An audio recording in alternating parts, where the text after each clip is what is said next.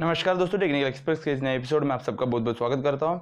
दोस्तों स्मार्टफ़ोन हम सब यूज़ करते हैं तो ऐसे में हमारा सबसे बड़ा प्रॉब्लम ये होता है कि स्मार्टफ़ोन को हमें दो बार या तीन बार दिन में चार्ज करना होता है। या तो फिर मिनिमम कम से कम एक तो भी बार चार्ज करना होता है, अगर मॉर्निंग में जब चार्ज करके निकलते हैं तो उसके बाद फिर से हमें कभी ना कभी बीच में का चार्ज करना होता है। तो ऐसे में अगर हम ऑफ़िस में होते हैं, कोई काम में होते हैं, कभी बिज़ी होते हैं, कभी ट्रैवलिंग में होते हैं तो हमें बड़ी दिक्कत होती है चार्जिंग करने में। तो ऐसे में हम एक पावर बैंक खरीदते हैं, लेकिन आजकल मार्केट में जो है बहुत सारे अलग अलग तरीके के ब्रांड देखने मिलते हैं पावर बैंक में और अलग अलग यूटिलिटी के साथ में मिलता है। तो आज मैं बात करने वाला कुछ पॉइंट्स जिसको ख्याल रखते हुए आप पावर बैंक परचेस करने में बहुत ही आसानी हो सकती है। तो चलिए शुरू करते हैं।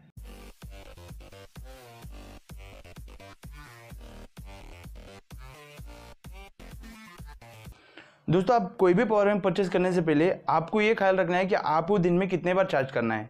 अगर आपको, आपका मोबाइल का जो बैटरी है, वो है तीन हज़ार एम का और आपको दिन में कम से कम दो बार एडिशनल चार्ज करना होगा तो आप मिनिमम परचेज कीजिए कोई टेन थाउज़ेंड एम की बैटरी क्यों टेन थाउज़ेंड एम की बैटरी आपको मार्केट में ग्यारह सौ एम से लेके तीन हज़ार एम एच साढ़े तीन हज़ार एम एच पाँच हज़ार M H seven thousand eight hundred M H ten thousand M H fifteen thousand twenty thousand M H तक उससे ज़्यादा भी मिल जाता है मार्केट के अंदर। तो आप देखिए कि आपको किस, कितना एम एच का बैटरी परचेस करना है और उसके हिसाब से आप बड़ी आसानी से एक पावर बैंक परचेस करने के बाद जो है, आपको आगे दिक्कत नहीं होगी। कभी पावर बैंक की बैटरी लो हो गया। आप समझो आपने परचेस किया एक तीन हज़ार एम की मोबाइल यूज़ कर रहे हो।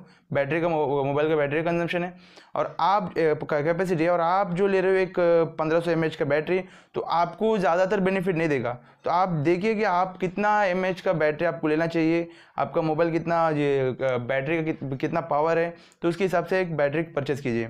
और आपको एक बात ख्याल रखना होगा कि कोई भी मोबाइल कोई भी पावर बैंक जो है, अगर समझिए उसका दस हज़ार एम का बैटरी है, वहाँ पर आपको पूरा पूरा दस हज़ार एम का आउटपुट नहीं मिलेगा। वहाँ पे आपको थोड़ा सा कम मिलेगा डिपेंड करता है पावर बैंक के ब्रांड के ऊपर। यहाँ पर आपको मिनिमम जो है सेवेंटी परसेंट तक आउटपुट देखने मिलता है और मैक्सिमम जो है नाइन्टी परसेंट तक आउटपुट देखने को मिलेगा। और यहाँ पर आप कम ज़्यादा वेरी करता है आपके कोई भी एक ब्रांड के ऊपर। कोई ब्रांड का अलग अलग ब्रांड का जो है अलग अलग एक तो लिमिट होता है उतना उतना क्वालिटी के ऊपर आपको जो है आउटपुट देखने को मिलता है। लेकिन 100 परसेंट पूरा आउटपुट आपको देखने नहीं मिलेगा। क्योंकि जो पावर बैंक में चार्ज होने के बाद, उसके बाद आपके मोबाइल में चार्ज होने के बीच में कुछ ना कुछ जो है, बहुत सारे प्रोसेस होता है तो उसमें जो है कुछ पावर जो है वेस्ट हो जाते हैं बाहर निकल जाते हैं। जैसे कि आपका पावर बैंक हीट होना, आपका मोबाइल हीट होना तो इसमें जो है कन्वर्जन में जो है थोड़ा बहुत पावर का लॉसेस हो जाता है। तो इसके बाद आपको सेकेंड बात सेकेंड चीज़ याद रखना है कि आपका जो है पावर बैंक में जो पोर्ट है, वो कितने, कितना जो आउटपुट कितना एम का आउटपुट वाला है।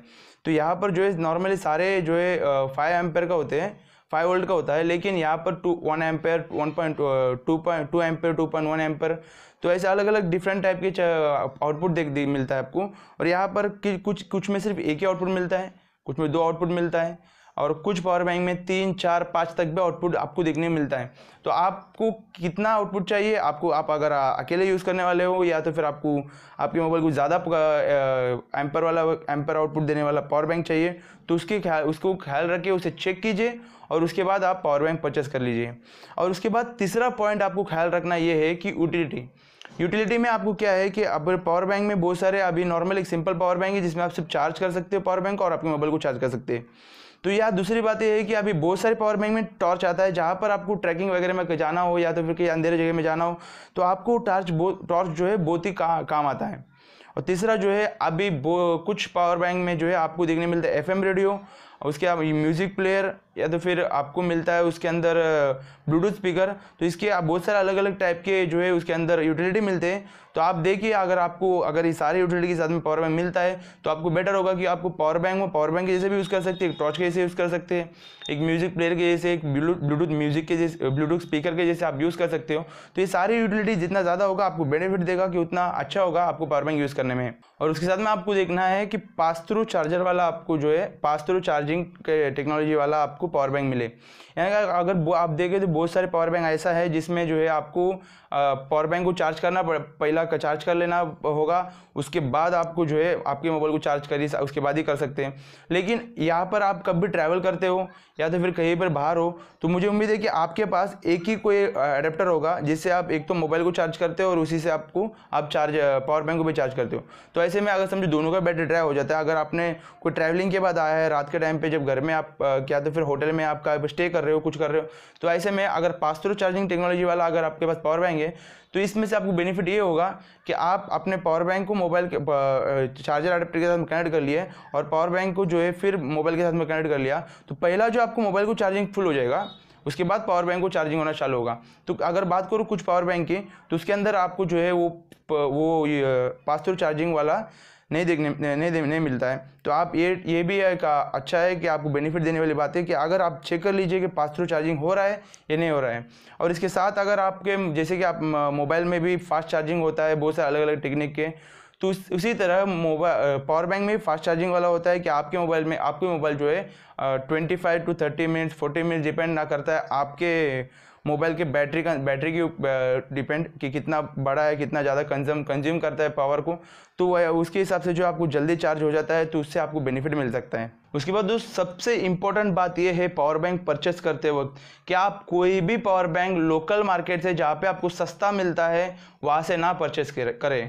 क्योंकि मैंने अभी रिसेंटली एक परचेस किया था एमआई का पावर बैंक मैंने सिर्फ़ देखने के लिए परचेस किया था तो वहाँ पर वो एमआई का पावर बैंक था, दस हज़ार का। तो और उसके, उसका जो है आउटपुट जो चार्जर मैंने मोबाइल को कनेक्ट जैसे ही करता हूँ तो कुछ दस मिनट में जो है वो पूरा ड्राई हो जाता है और उसका कॉस्ट था करीब वन फिफ्टी रुपीज़ यानी कि मतलब दस हज़ार एमएच अगर वन फिफ्टी रुपीज़ में मिलने लगा तो शायद कोई दे ऑनलाइन वगैरह में कोई परचेस नहीं करेगा। तो आप कोशिश करें कि आप जब भी देखते हो कोई भी जगह पर दस हज़ार एम एच बीस हज़ार एम एच पचास हज़ार एम एच लिखा होता है तो वहाँ पर बैटरी जो है पूरा न, पूरा एक ख़राब होता है। वहाँ पे आपको बिल्कुल भी आउटपुट नहीं मिलता है। एकदम ख़राब क्वालिटी का होता है। कभी कभी ऐसे भी होता है कि आप दो मिनट के लिए चार्ज कर दो मिनट अगर लगा कि पाँच मिनट लगे मोबाइल चार्ज होगा उसके बाद आप जो है बैटरी पूरा रात लेता है चार्जिंग फुल होने में पावर बैंक और आपके मोबाइल दस मिनट लगाने के बाद बैटरी ड्राई हो जाता है। तो ऐसे भी बहुत सारे पावर बैंक है तो आप रेपुटेड ब्रांड का परचेस करें और रेपुटेड ब्रांड के परचेस करना हो, मैं प्रेफर करूँगा ज़्यादातर कि आप ऑनलाइन से परचेस करें, या तो फिर आप कोई भी एक स्टोर जो जिसको आप बहुत अच्छे से पहचानते हो तो उस स्टोर से परचेस करें। क्योंकि मेरा ख्याल से या अगर समझो मेरे आसपास में जो है, मेरे घर के आसपास में एक बीस के ऊपर आउटलेट है, जहाँ पर आपको कम से कम जो है फिफ्टीन आउटलेट्स में आपको सिर्फ़ फ़र्स्ट कॉपी या तो फिर नकली पावर बैंक देखने मिलते हैं एक ब्रांड के नाम से सोनी सैमसंग लिवगार्ड शॉमी ऐसा जो है बहुत अच्छे अच्छे ब्रांड है। ये सब पावर बैंक बहुत अच्छा है। लेकिन जो है ये आपको मिलेगी जो है एकदम एकदम जो है लो क्वालिटी वाली, यानी कि सिर्फ़ नाम होता है शॉमी का सैमसंग का सोनी का, लेकिन उसके अंदर का जो मटेरियल है वो ओरिजिनल नहीं होता है। तो ये भी आपको पावर में मिलता है। आप अगर पावर बैंक अच्छा वाला खरीदना है तो अमेजोन तो एक बहुत अच्छा प्लेटफॉर्म है। वहाँ से आप परचेस कीजिए, वहाँ पे आपको बहुत सारे डिस्काउंट भी मिल जाते हैं। स्नैपडील फ्लिपकार्ट कहीं से भी परचेस कीजिए। लेकिन आप ऑनलाइन परचेस करोगे तो आपको ज़्यादा बेटर होगा। और आप कोई भी ब्रांड परचेस कर सकते हो। इसमें कोई आपको दिक्कत नहीं है, लेकिन रेपुटेड ब्रांड जैसे कि मैं यूज़ करता हूँ लिवगार्ड का, मैं सोनी भी यूज़ किया हूँ। सोनी भी बहुत अच्छा है शॉमी का भी बहुत अच्छा है। आप उसके अलावा बहुत सारे ब्रांड है जिसके जो है यूज़ कर सकते हैं। सैमसंग का भी अच्छा है। और वन प्लस का भी अच्छा है, ये सारे पावर बैंक भी बहुत अच्छे हैं, ये सारे पावर बैंक भी आप यूज़ कर सकते हो। उम्मीद करता हूँ इस वीडियो आपको पसंद आया होगा और आप आप समझ गए होंगे कि पावर बैंक परचेस करते वक्त किन किन बातों का ख्याल रखना है। अगर इस वीडियो को पसंद आया होगा तो लाइक कीजिए, साथ ही साथ शेयर कीजिए, अपने दोस्तों के साथ शेयर कीजिए और साथ ही साथ आपके मन में कोई भी सवाल, सुझाव होगा या तो फिर इस टॉपिक इस वीडियो में मैंने कोई भी टॉपिक छोड़ दिया हो तो आप नीचे कमेंट सेक्शन में कमेंट कीजिए। मैं अगले वीडियो में उसे कवर करने की कोशिश करूँगा और आपके मन में कोई भी सवाल सुझाव होगा, आपकी कोई कोई बातों के बारे में जानकारी जानना चाहती हो तो नीचे कमेंट सेक्शन में कमेंट कीजिए, उसके बारे में जल्दी एक वीडियो बनाने की कोशिश करूँगा। फिर मिलता हूँ एक नए एपिसोड में।